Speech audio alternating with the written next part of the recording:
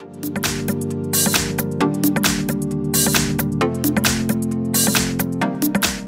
everyone, here we've got Motorola One Vision Plus and let me show you how to enable night mode or eye comfort mode.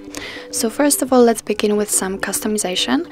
In order to do that simply open the settings, then let's choose the display and here we've got the night light so let's tap on it.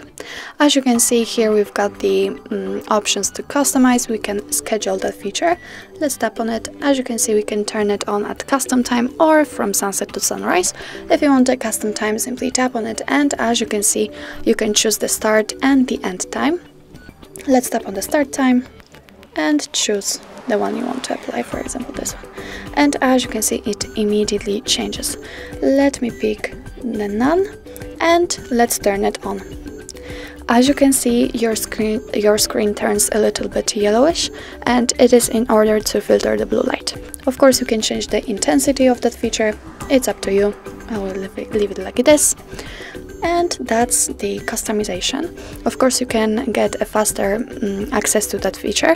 Simply unroll the top bar and find the night light icon. If you do not have one, no worries, simply tap on this pencil icon, find it somewhere here, hold it and drag it to this section. Okay, let me get back.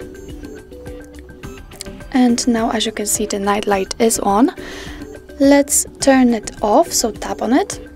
And as you can see the screen turns to its normal state. So that's all this is how to customize and how to turn on the night mode.